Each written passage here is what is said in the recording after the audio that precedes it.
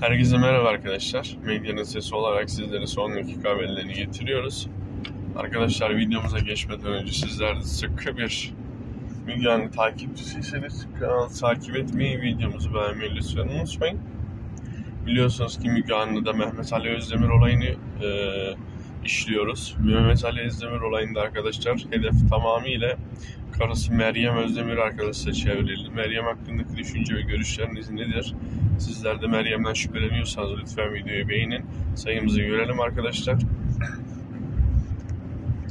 Yakın zamanda Meryem hakkında ortaya atılan iddialarla beraber sizlere neler olacağını öngörü tahminimizde belirtmiş olduk. Fakat ilerleyen zamanlarda yine aynı şekilde sizlere düşüncelerimizi bildirirken de arkadaşlar e, Meryem'in gözaltına ifade için alındığını söylemek isterim. Böyle bir iddia var ortada. Kesin olmamakla beraber sizlere bizler tüm iddiaları getiriyoruz. Fakat e, düşünce ve görüşleriniz bizler için önemlidir. Hepinizi yorumlara davet ediyorum.